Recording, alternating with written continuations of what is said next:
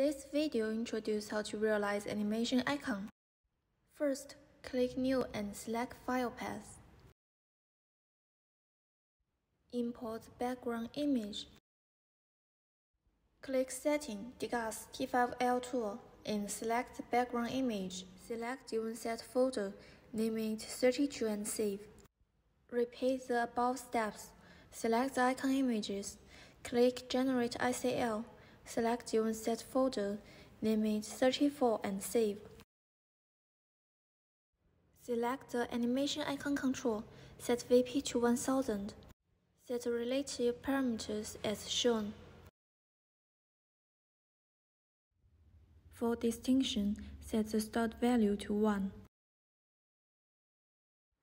Select incremental adjustment control. Set its VP the same to that of the animation icon control. The incremental adjustment control uses cycle adjustment for the display control.